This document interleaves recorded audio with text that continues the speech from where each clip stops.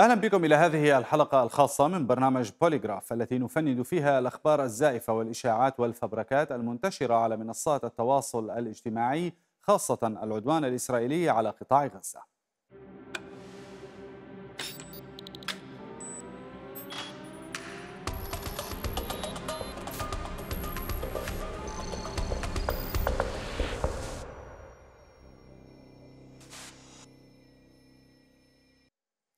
الحق لا ينصر بالتزوير ولا فائدة من فبركة الأخبار لدعم المقاومة الفلسطينية في غزة. أمر بديهي لا يحتاج إلى شرح وتوضيح ونكرره في برنامج بوليغراف بصيغ وألفاظ مختلفة.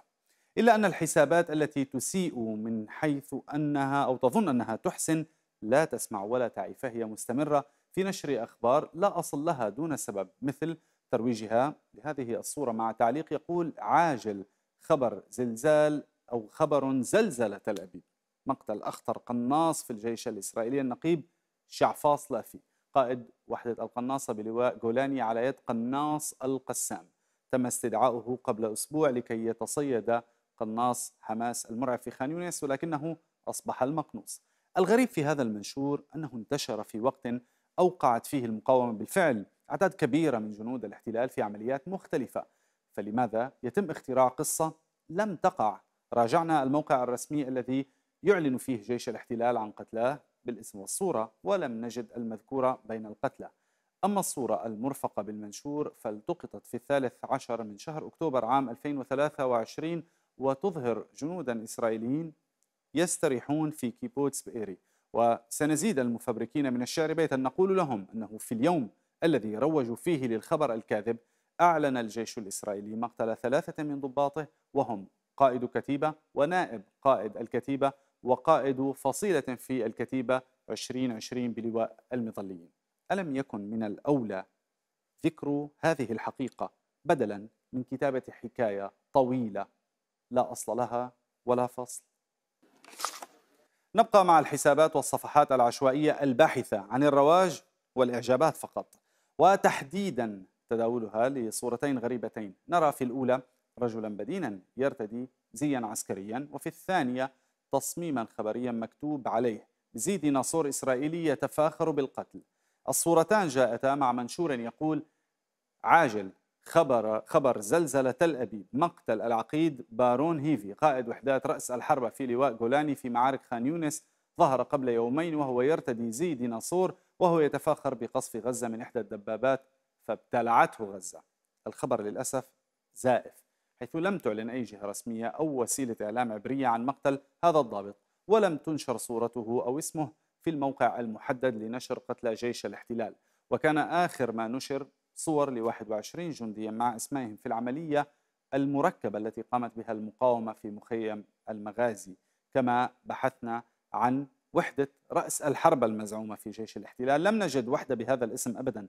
بحثنا أيضا عن المدعو بارون هيفي لم نجد أي ذكر له في أي مكان ولم تنشر أي وسيلة إعلام عبرية أي معلومات أو تفاصيل عن هوية الجندي أو الضابط الذي ارتدى زي الديناصور في اللقطة المتداولة. العملية المركبة التي نفذتها المقاومة الفلسطينية قبل عدة أيام في مخيم المغازي في قطاع غزة أثارت جدلا واسعا في دولة الاحتلال حيث اعترف الجيش الإسرائيلي بمقتل 21 جنديا وإصابة 33 آخرين بينما تقول كتائب القسام إن الأرقام أكبر من ذلك بكثير. الحسابات والصفحات العشوائية الباحثة عن الانتشار استغلت تصدر العملية للأخبار في الترويج لهذه الصورة. مع تعليق يقول جميع من هم في هذه الصورة قتلوا ومن نجا أصيب بإعاقة دائمة ولا زالت حياته في خطر أو أصيب. جيوش العالم تقتل بالجندي وجيشنا الذي لا يقهر يقتل بالدرزن والدرزن هي وحدة مكونة من 12 شخص ويقابلها بالمصري بالدستة. نشر هذه الصورة أمر محير حيث أنه لا علاقة لها بالعملية النوعية التي أوجعت الاحتلال. الأغرب أن حركة حماس نشرت مقاطع فيديو وليس صور فقط تظهر الجنود الإسرائيليين الذين لقوا مصرعهم وهم يزرعون متفجرات في مبان سكنية بعد أن استهدفتهم المقاومة بصواريخ مضادة للتحصينات. عموما هذه الصورة قديمة. نشرتها وكالة رويترز مشاهدين في الرابع من شهر ديسمبر الماضي أي قبل شهر ونصف تقريبا وتظهر تجمعا من الجنود الإسرائيليين بالقرب من الحدود مع قطاع غزة. وفي فائدة جانبية من التغريدة أو المنشور فإن أصل كلمة درزن أو دزينة هو دازن باللغة الإنجليزية أما دستة ففارسية. وإلى خبر صاغه أو تلاعب بكتابته مفبركون مخضرمون من الزمن الجميل فهو مرفق بدليل دامغ مقطع فيديو صوت وصورة. نص الخبر هو قيادي في حماس يقول ما حدث في السابع من أكتوبر خطأ وأهالي غزة هم من قتلوا واختطفوا المدنيين الإسرائيليين وليس حماس. نشاهد هذا المقطع سويا. لا, لا, لا نخجل أن نقول بصير بعض الأخطاء الموجودة وهذا شيء طبيعي بصير في كل الدول.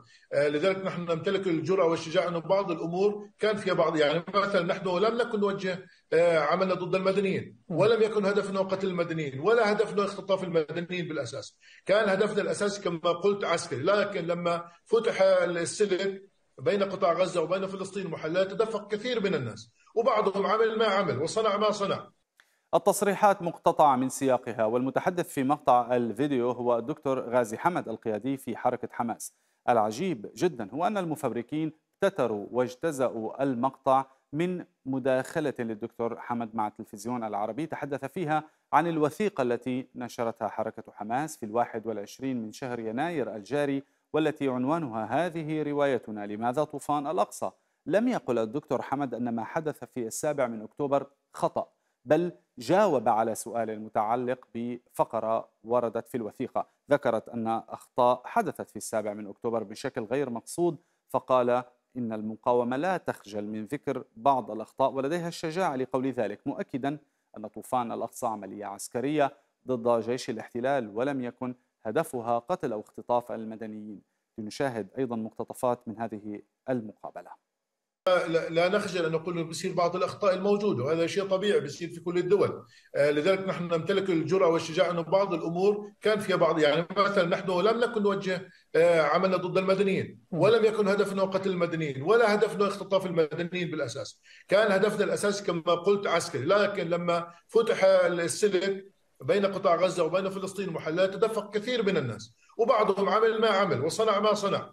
لذلك نحن كما قلت لا نخشى إنه بعض الأخطاء الفردية، لكن الموقف الذي قالت به حماس وكتائب القسام والقائد العام الأخ محمد الضيف أنه قال نحن وجهنا بندقيتنا نحو جنود الاحتلال، نحو فرقة غزة من أجل اختطاف جنود ومبادرتهم بأسرى فلسطينيين، وكذلك قال لا تقتلوا شيخا ولا طفلا ولا امرأة وإلى آخره، ولذلك كما قلت الموقف كان واضحا. إذا كما أكد آه، الدكتور حمد أن إسرائيل روجت لادعاءات زائفة أيضا عن عمليات اغتصاب وقتل للمدنيين ثبت كذبها لاحقا. قصقصة الحديث واقتطاعه من سياقه هي سمة الحسابات المتصهنة. ولكن بوليغراف لكم بالمرصاد بالمناسبة من بين كل القنوات لم تختاروا إلا تحريف ما بث على التلفزيون العربي. هذه مهمة سهلة بالنسبة لنا.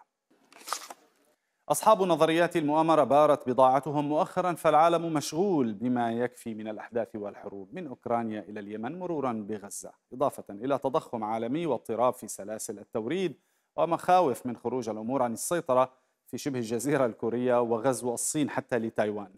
غير أنه في كما يقول المثل الشعبي يموت الزمار وأصابعه تلعب. ولهذا سارعت تلك الحسابات إلى ترويج منشور يقول رئيس منظمة الصحة العالمية استعدوا لمرض إكس أكثر فتكا من كورونا بعشرين ضعفا. الحقيقة هي أن المنشور كاذب.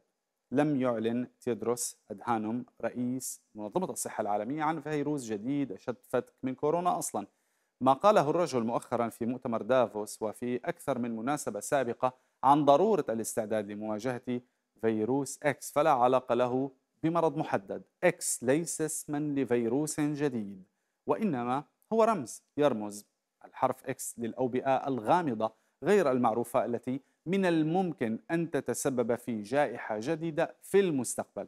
لحسن الحظ رئيس منظمة الصحة العالمية ليس غبيا شرح ما قصده في منشور مطول فقال إن التاريخ علمنا أن نتوقع تهديدات جديدة لأن الفشل في الاستعداد يجعل العالم مستعدا للفشل. وأنهى المنشور بعبارة المبادرات تدعم البلدان في الاستعداد بشكل أفضل للاستثمار في الأجيال القادمة عن طريق المراقبة والإنتاج المحلي والتطوير. وقد اعتمدت بالمناسبة منظمة الصحة العالمية مصطلح المرض إكس لأول مرة عام 2018 في إطار سعيها إلى فتح نقاش معمق حول معالجة جائحة عالمية محتملة ربما في المستقبل والاستعداد لها.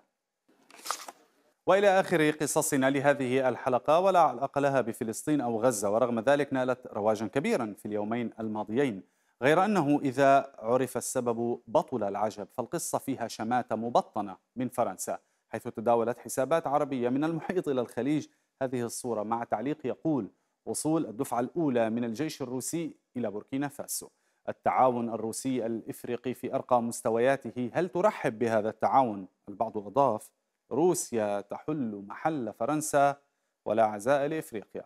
الحقيقة مشاهدينا هي أن الصورة قديمة تعود للعام 2021 وتظهر وصول أكثر من 100 جندي لمصر للمشاركة في حفل افتتاح التمرين المشترك الخامس الروسي المصري المشترك المعنون المدافعون عن الصداقة.